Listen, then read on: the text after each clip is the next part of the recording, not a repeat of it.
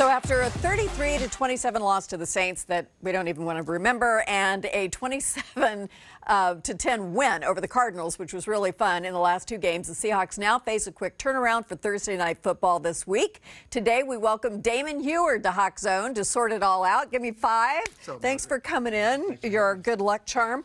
Russell Wilson is so good that we like take him for granted, and then every now and then I just stop during a game and go, dude, you are so amazing. He really is. I mean, just his ability to extend the play when the whole thing breaks down. And you always have a chance to win every Sunday because Russell Wilson's your quarterback. I know. I do feel like, you know, no matter what happens, he's, yeah. he's there and this could happen. Yeah. Let's talk about Chris Carson, who I yeah. thought was kind of unfairly pilloried for the fumble in every game for three games. So random stuff happens, doesn't yeah. it, no, in it life? Does. And it doesn't mean that you won't have a terrific game the next time you go out. Right. And he was awesome yesterday. He was 104 awesome. yards rushing, I think, another 40 yards receiving.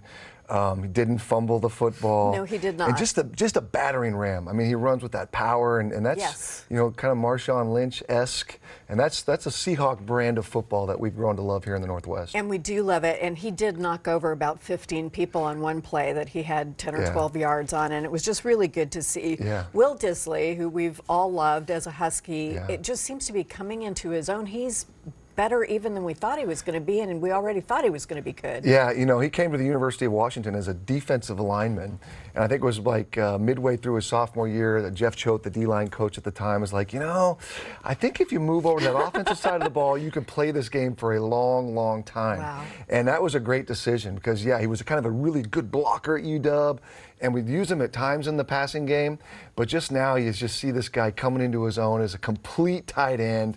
Uh, what, four touchdowns in the first four games? I think uh, a guy, uh, Gronk is the only other tight end in, in this uh, stage of his career to have wow. done that. So this guy's on track to be a Pro Bowl type player, and it's so fun because he's such a great kid. That's what everybody says, and you yeah. want nice people to do well. And that's kind of a Seattle thing, too, which yeah. leads me to the next player I want to talk about, which is having Luke Wilson back, because yeah. Luke belongs in Seattle, let's face it. He just belongs here. Yeah, he does. I mean, he's everywhere in this town, and and uh, just that great personality. He's got the hair back. Got the hair, yeah, just a he stud. Should, he needs to just leave the hair long. I am convinced I it's I part agree. of his power. Oh, yeah. uh, Bobby Wagner has yeah. like glue arms that mm. just fly out and, and, attack people and they can't get away. He had 11 tackles. How good yeah. was he yesterday? Unbelievable. I mean, just the nose for the football. But you're right, those long arms, that length that he has. It's just, um, I mean, he's he's the quarterback of that defense, and and uh, him and KJ, both those guys, veterans. Amazing. It just, um, it's unbelievable watching them run and play football. And Kendricks too yesterday. Yep. Um, let's talk about Jadeveon Clowney, who had an amazing pick 6 mm-hmm. um, and later on in the game, I think I tweeted it. He was chasing the quarterback, and I thought, oh my God, I would just roll into a ball and play dead. He's yeah. just, he's fast, he's big, he's just fit in with this defense so well. Right, and what an impact he's had, and it's hard. I, I moved to three different teams over the course of my NFL career, and just to, to pop into a new town, uh, to learn a new system. He played in a 3 4, now a 4 3 whatever that might mean to you. No, I, am following you. but anyway, um, and and the impact he's having. You know, maybe you don't see him make every tackle or sack the quarterback every time, but just the push that this guy gets at six foot five, 270 pounds, just disrupting plays.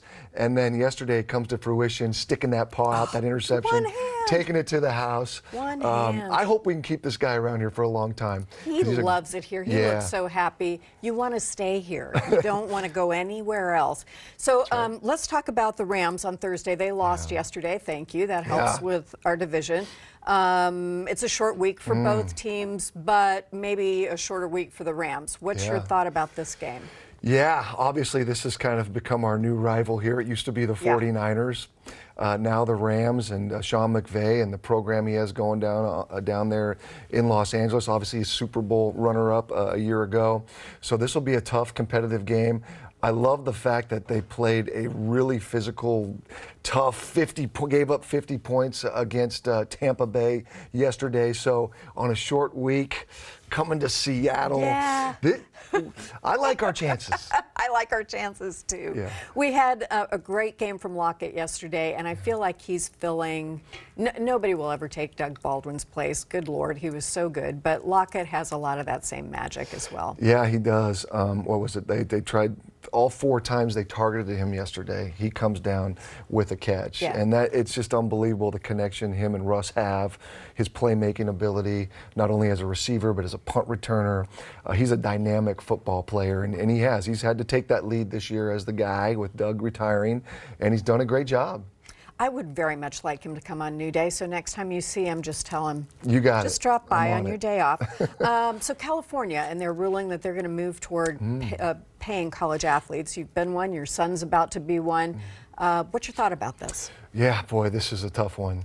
Um, I'll say this I know at the University of Washington, over the course of a student athlete's tenure there, four, five years, the school invests about $700,000 in that athlete's experience. Obviously, tuition. We spend almost $2 million a year in food alone for the football program.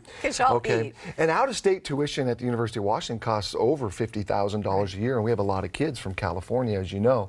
So it, um, the only thing I'll say is, is I, I'm all for the student athletes and the players and making more money or having this sort of deal, but it has to be level across the board. It can't just be the state of California because of the recruiting advantage that those Can schools would have. Yeah. So I think it's great what they're doing in that, you know, I mean, the only constant in life is things change, right? So many of these rules were written by the NCAA 50, 60, 70 years ago.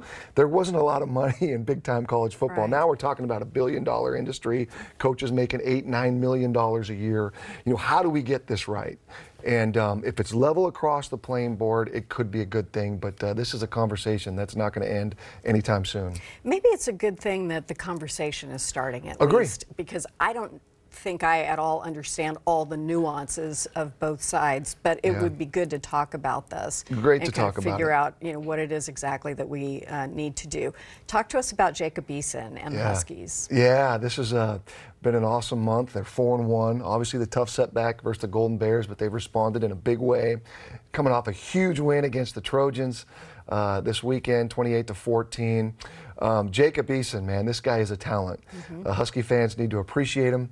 Um, I hope he's here for another year. That's what I was going to ask. Do you think uh, it's just this year? it might be, you know, might be the Corey Dillon kind of deal where you're just so talented that you move on to the next level. But, um, you know, he's been so good, so efficient, so accurate, and obviously some of these throws he's made. I mean, he's he's got the strongest arm I've ever seen in Husky Stadium. So uh, it's been fun to watch him grow and this team get better and better each week now. And and uh, got a big one on the farm at Stanford this weekend. Right. But um, I love the fact the Cougs lost, the Golden Bears lost, and the Dogs, you Uh-oh. know. Do we have any Cougs in the studio today? This- okay. Oh, Yeah, the producer sorry. Heidi just said, Well, "Heck no." My So- bad. My bad.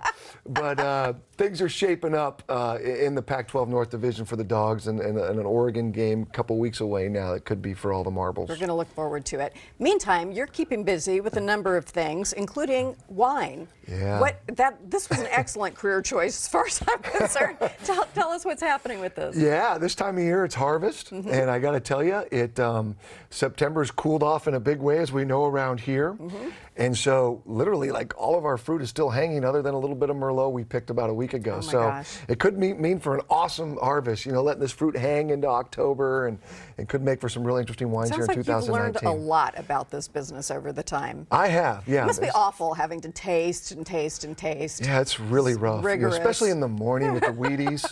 You know, it's it's it's a tough biz, but uh, we're getting through it. Uh, thank you so much. Appreciate it. It's Thanks, good to Margaret. see you. Great to see you, Thank too. you. And again, we don't have a long wait till the next game. Seahawks against the Rams on Thursday night. After the break, a beginner's guide to canning for fall. We're going to be making not wine, but apple pie jam. I am all in for this right after this break.